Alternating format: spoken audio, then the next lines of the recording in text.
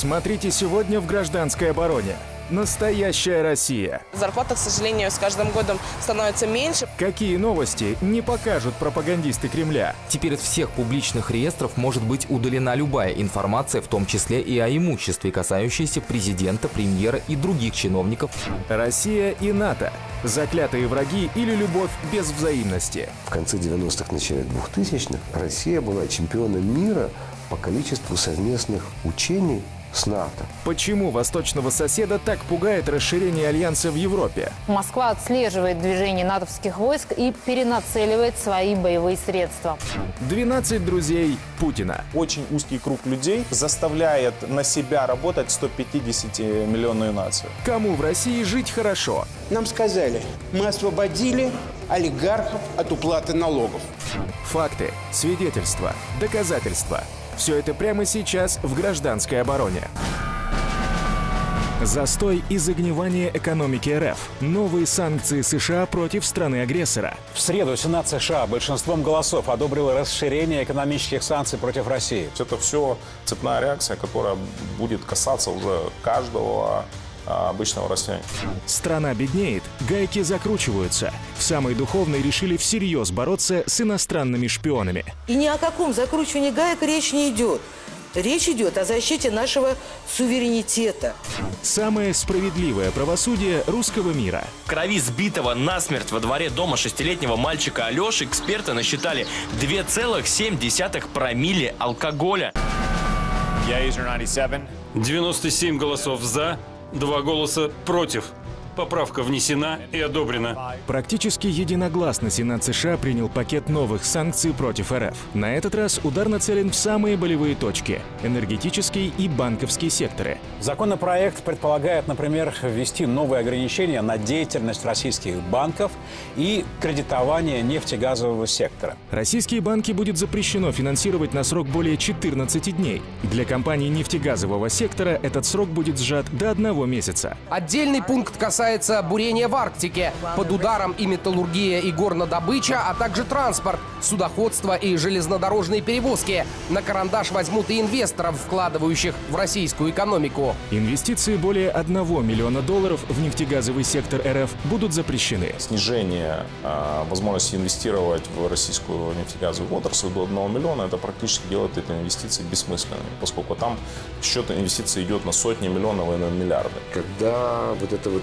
нефтегазовая история не может привлекать новые денежки, они не могут ремонтироваться, они не могут разведывать новое, они не могут поддерживать добычу на этом уровне. Новый пакет санкций может буквально уничтожить грандиозные планы РФ по строительству Северного потока-2, газопровода в Европу в обход Украины. Две нитки газопровода «Северный поток-2» должны пройти по дну Балтийского моря до немецкого города Грайфсвальд, чтобы снизить транзит газа через Украину. Традиционно газ для самой духовной является предметом беспроигрышного шантажа ЕС. Однако эксперты уверяют, очень скоро ситуация может кардинально измениться. Будет очень дешевый газ. Тут пресс-конференция была э, в Техасе, месторождение открыли, сейчас осваивают тоже сланцевой нефти.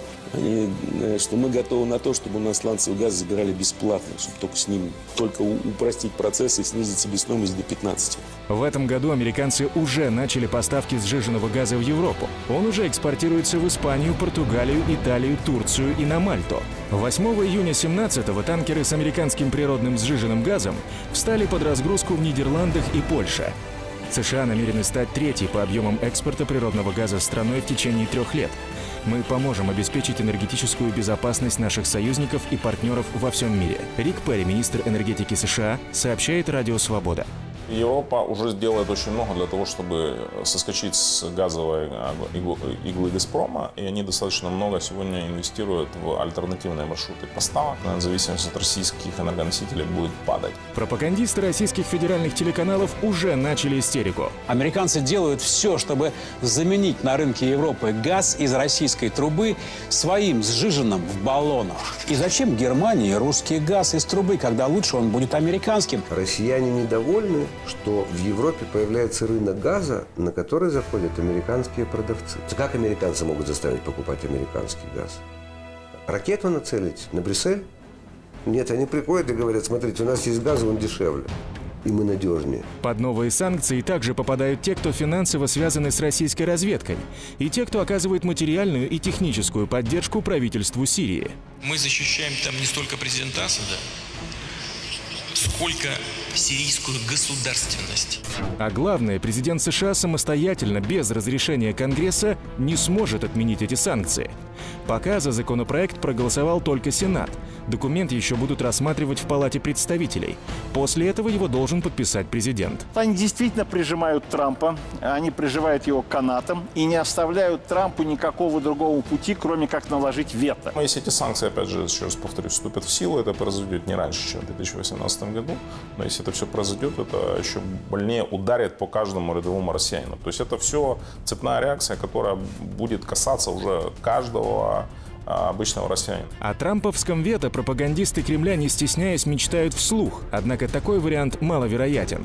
А потому в Кремле пели старую песню о главном. История России показывает, что мы, как правило, и, и жили под санкциями, начиная с того момента, когда Россия начала, начала вставать на ноги и э, чувствовать себя креп. На самом деле, до истории с Крымом Запад не вводил санкции против России. Не было бы Крыма, не было бы других проблем. Придумали бы что-нибудь еще для сдерживания России. Тезис «Россия в кольце иностранных врагов» теперь едва ли не государствообразующая идея. Чтобы выявлять инородных диверсантов, в Совете Федерации РФ создали комиссию по борьбе с иностранным вмешательством. И ни о каком закручивании гаек речь не идет.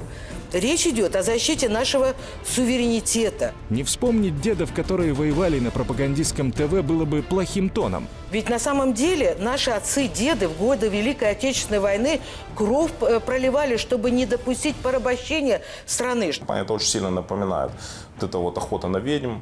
Вот. Причем, это, еще раз повторюсь, это именно поздний-поздний сталинизм. То есть это фактически уже деградация системы. Так и для стагнирующей экономики РФ новые санкции – очередная мина замедленного действия. За имперские амбиции Кремля простые россияне продолжают платить из собственного кармана.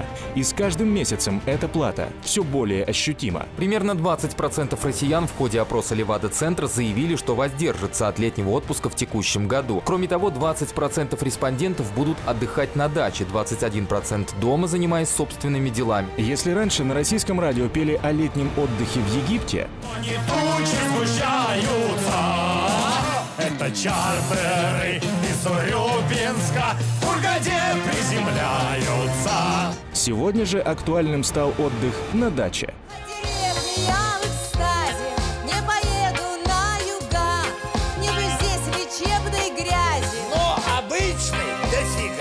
У многих не хватает денег не то что на далекий Крым наш, а даже на то, чтобы просто выехать из родного города. Растет ли последние годы уровень ваших доходов? Не растет, падает. Нет, падает. В какой сфере работаете? Образование. Последнее время, наоборот, почему-то они в, в обратную сторону. И так работаю на двух работах, и ничего не получается. Но мы работаем в бюджетной организации, в школе учителями. Зарплата, к сожалению, с каждым годом становится меньше. Несмотря на то, что президент всея РФ озвучивает не такие уж пугающие цифры по бедности в самой духовной. К сожалению, за последние годы э, количество этих людей подросло до 13,5%. У Института социального прогнозирования РФ другие данные. Уже сегодня практически на грани выживания рискует оказаться каждый третий россиянин почти 29% населения России рискует оказаться бедными, если понимать под бедностью ежемесячный доход менее чем 9956 рублей. Я работаю финансовым директором. И ваша зарплата, она не меняется? 10 лет на одном и том же уровне. Клиентская база снижается в том плане, что наши партнеры разоряются, поставщики разоряются. К сожалению, эта тенденция прослеживается вот с 2013 года все по нисходящей, по нисходящей. В 2016-м 70% россиян экономили на всем. 75,7% на одежде и обуви, 68% на продуктах питания, 67,5% на развлечениях, 57,7% на отпуске, 38,9% на лекарствах, 6,3% на других категориях расходов. Однако грядущие новые санкции и растущая бедность далеко не самые худшие стороны хваленого русского мира. Бесправность простого народа и коррупция – вот его визитная карточка. Персональные данные лиц, которые находятся под госохраной и информацию о членах их семей засекретят. Вот эти все декларации. Мы зачем это делаем? Мы народ раздражаем. О, еще одна машина, вот еще там где-то квартира, ой, там за границей. Я много раз предлагал, уберите все декларации. Вы знаете, кого надо арестовать, арестовывайте без деклараций. Вы прекрасно знаете, кто ворует и у кого какие деньги. Эта новость в РФ прошла незамеченной. Пока в Украине начинает действовать система прозрачного электронного декларирования, российским чиновникам законодательно разрешают скрывать доходы. Теперь из всех публичных реестров может быть удалена любая информация, в том числе и о имуществе, касающейся президента, премьера и других чиновников высшего эшелона власти. В любой европейской стране этот закон мог бы иметь эффект разорвавшейся бомбы. В духовной РФ о новости не сообщил ни один крупный телеканал. Речь идет о ФСБшной аристократии. Ну, логично, следующим этапом, например, когда едет ФСБшный кортеж, чтобы смерды э, снимали шапки и становились на колени. Ну, это логично. Это логичное продолжение того, что происходит. Дальше веселее. С легкой руки депутатов Думы у граждан России забрали право высказываться в суде. В РФ решили, что так дела будут рассматриваться быстрее. Отныне судья сможет лишать подсудимого слова в рамках мер процессуального принуждения. И, конечно, российские правоохранители – самые честные правоохранители в мире. Получил результат экспертизы, согласно которой маленький Леша сам бросился под колеса иномарки, потому что был в буквальном смысле смертельно пьян. Леше было всего 6 лет. В российском городе железнодорожный прямо во дворе многоэтажки на бешеной скорости его сбивает машина. Темный седан быстро разгоняется во дворе жилого дома. Скорость примерно 50 км в час. Все происходит за кадром. Иномарка сбивает мальчика и протаскивает под колесами больше 10 метров. Однако водителю убийство ребенка как с гуся вода. Экспертиза позже покажет. В его крови якобы огромная доза алкоголя. В распоряжении нашей программы оказались фрагменты этого заключения. 2,7 промилле алкоголя в крови равнозначно выпитой бутылке водки. От такой дозы ребенок попал бы в реанимацию. Но в российской полиции это никого не смутило. Проверять судмедэкспертов не стали. И самое главное, кто был за рулем? Оказывается, Ольга Алисова, супруга уже осужденного участника крупной ОПГ. Банда занималась убийствами и похищениями людей. И только когда СМИ подняли шумиху, прокуратура все же увидела странности этого дела. Ну так если не одобрение, то молчаливое согласие со стороны российского общества самое страшное. То есть что было в Киеве, когда избили студентов на Майдане? Вышел потом на следующий день миллион киевлян, да? А тут спокойно задерживают ребенка за стихи Шекспира или убивают малыша, и потом придумывают историю, что он был пьяный, какие-то протесты, ничего нет. Донбассу и Крыму они показали привлекательную картинку и обещали райскую жизнь в родной колыбели. Однако настоящее лицо русского мира выглядит совсем по-другому. Коррупция, бесправие простых граждан, растущая нищета и международное осуждение. С уважением, русский оккупант.